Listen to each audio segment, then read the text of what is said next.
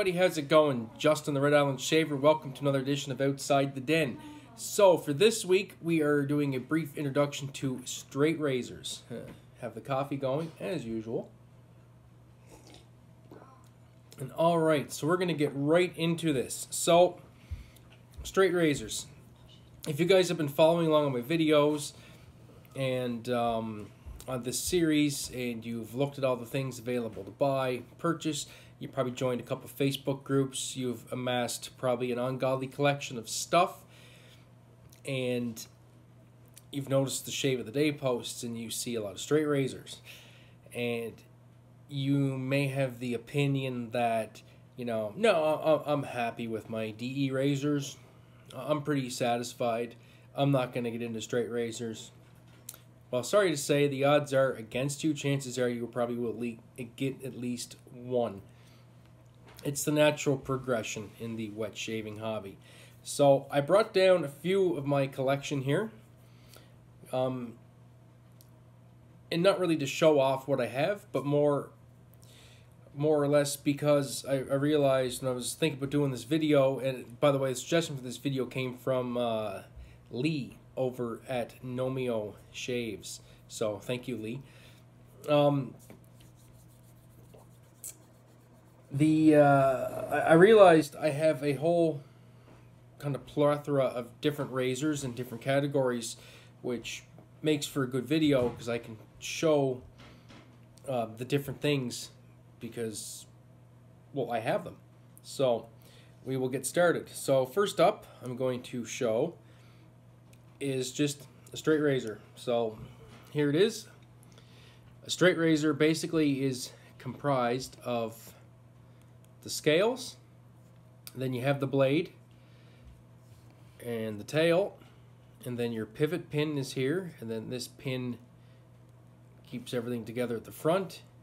Then there is a wedge that keeps it gapped so the blade can uh, go into the scales without nicking the scales, which will hurt your edge. And then you have the blade itself. So this particular one is a 6 eighths, which is basically the size of the blade from the spine down to the cutting edge. This is a round point. As you can see, the point of the blade is round.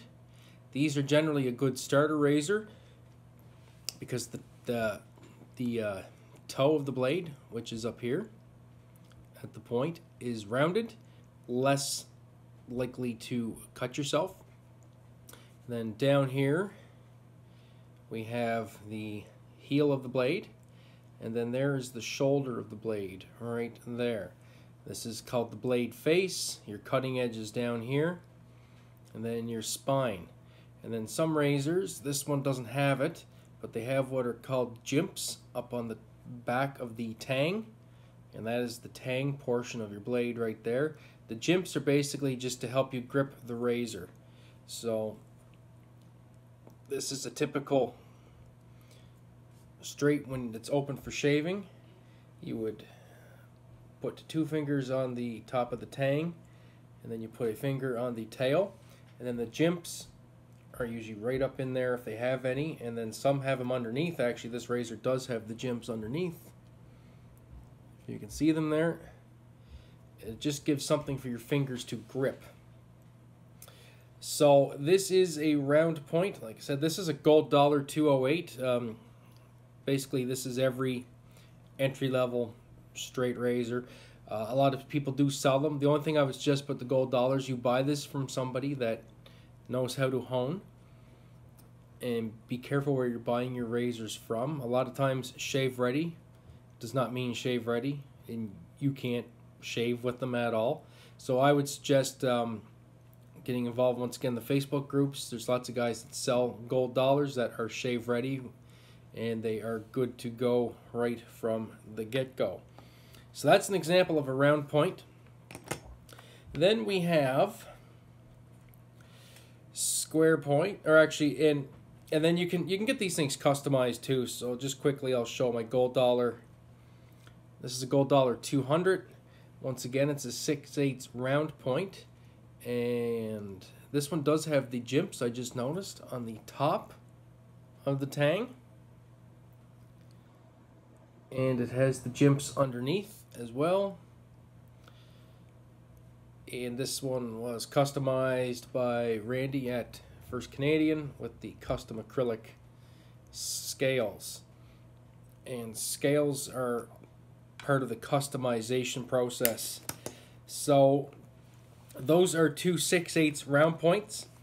Then you can get into, we have French points. So this here is a Thiers Issard Le Dandy. Does not have the jimps on top. Has the jimps underneath. And this is a French point razor. So with the French point, there's a little bit of concavity to the front.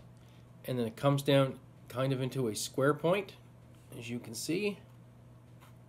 There's the concavity right there. So it's almost a round point, but then it comes down to an edge, to a, to a square.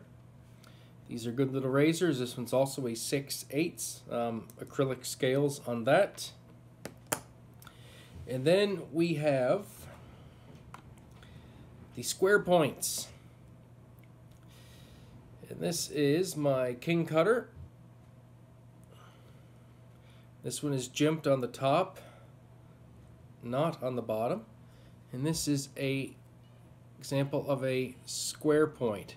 So the end of the blade is just square. Now I had this tip muted a bit, which basically means uh, Randy, when he did the razor, he dulled the very edge of the tip so it's not sharp to avoid cutting myself. Uh, this blade, see if I can get the etching in here. This blade was made in 1900 or 1915, something like that. And this sports wood, um, resin stabilized wood, which is waterproof and will last you a lifetime if you take proper care of it. And then we get into this razor, which is kind of an oddball. I, I don't really have any Spanish points. This one is kind of a hybrid of a Spanish and a barber's notch. This is also a 6 8 But as you can see, it has the notch there. And this tip actually came out quite a bit more. So it was it was kind of a hybrid of a Spanish point and a barber's notch. The, the barber's notch is actually usually a little bit more pronounced. The Spanish point, I guess this one probably is a Spanish point because the um, the Spanish points they flare out quite a bit on the nose or on the the toe. Uh, Randy muted this one as well, so I didn't remove my ear. And let's see if this one is jimped. No, the tang is smooth on the top and the bottom. But this razor I find is actually quite easy to hold. It, it's it's quite a hefty razor. This is some fairly old steel with uh, heavier wood scales. And this one is actually quite easy to hold on to. So that's a Spanish point. And then we have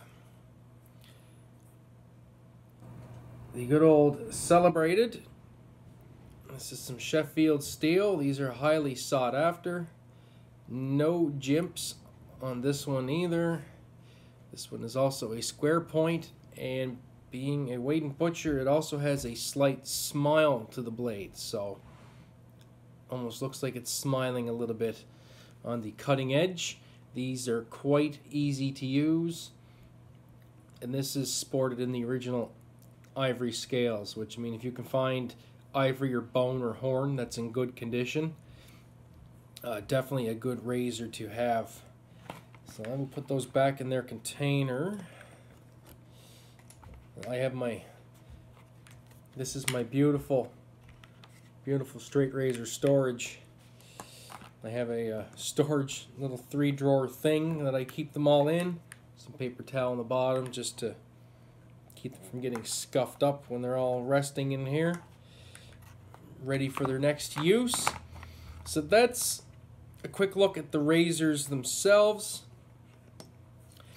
and actually we'll, we'll go into some grinds here in a minute too um, and then also for straight razors you have uh, Kamisori. So this is traditional Japanese Kamisori. Big thing about these is the grind on them.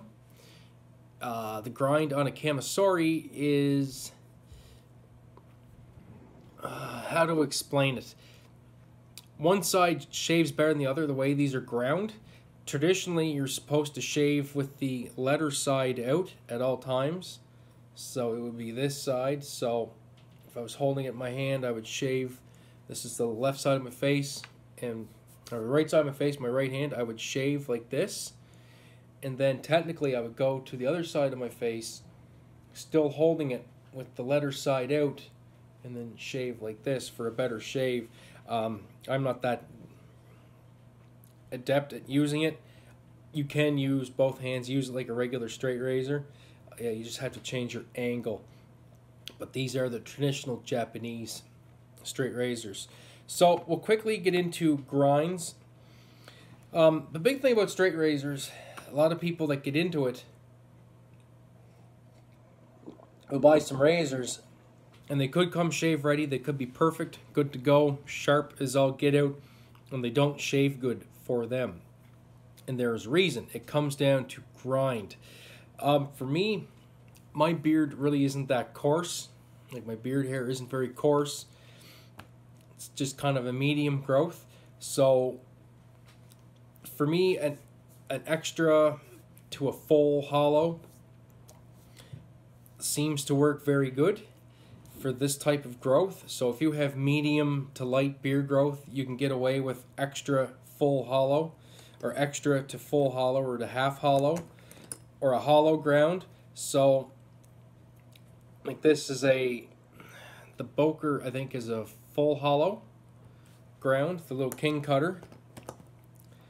These gold dollars are hollow ground. And this Wade and Butcher, if I can read what it says. Randy's got it so shiny, I have I can't really read it now. You can read it better when there's a bit of dirt in there. Uh, I believe it's an extra hollow. An extra hollow ground on that. So with the medium to light beard growth, uh, you can get away with a full hollow to extra hollow to hollow. If you have very, very, very coarse beard growth, you're going to want to look for a a wedge or a near wedge. And basically all that is is a near wedge or a wedge is basically just a straight blade. There's no concavity in it at all, um, leading down to the cutting edge. It's just the, the and you can look this up. Um, maybe I'll I'll I'll find a link to um, a picture that, that explains the grinds, and I'll put it in the description below. So basically, if, if you look at the end of the blade from this end, this being a hollow ground, you can see there's some concavity there. You can see how the blade it starts at the spine and it and it works into the point. Uh, a wedge, there's really no concavity there. It's just straight down, and and it just gives it a more rigid shave and the extra hollow to the hollow there's a little bit more play in the leading edge a little bit more bend so they those don't work very well with very coarse beards so that's one thing to keep in mind if you're going to get into straight razor shaving and that is just be cognizant of your particular type of beard and realize that this, this kind of isn't a one size fits all um, if you have very coarse hair. And that's really all there is to say about that aspect of it. As far as cleaning these go and maintenance, uh, you know, that, that seems to be a detriment for some people. They don't want to get into it. Really, all you need to do is get a good strop. Uh, I do have a video. It's um, maybe I'll link it in the description. I'll, I'll go find the video and I'll link it so you can watch it and refresh yourself on it how I strop, I do it a bit different. I do one side of the blade at a time than the other, same as when you're honing it. Um, but really, that's all you need to do. Make sure you dry your blades off good after each shave with a piece of paper towel or toilet paper, or whatever have you. Uh, strop it, and then you're good. If it needs to be rehoned, don't worry about getting into stones right off the bat. There's lots of guys in the groups that hone them. You can just send it out get it done. It only costs you a couple dollars, and you're good to go. Don't let the the perceived maintenance aspect of it um, keep you from getting into it if what you if it's what you really want. It really doesn't cost that much at the end of the day, and it doesn't really require that much more effort. Um, so yeah, so that's really all I have. That's just a quick overview of straight razors. I could literally go on about this all day. Uh, I'm not going to. But anyway, that's all I have for this week. Uh, please join me on the weekend shave video where we're going to use, I don't know, a mystery soap. I'm going to find something in the den and we're to have a great weekend shave. I, I will tell you though, it would be one of these blades you've seen here on this video today will be in action for sure. So thank you very much for watching. I do appreciate it. As always, friends, have a great day and even better shave. We'll catch you on the weekend.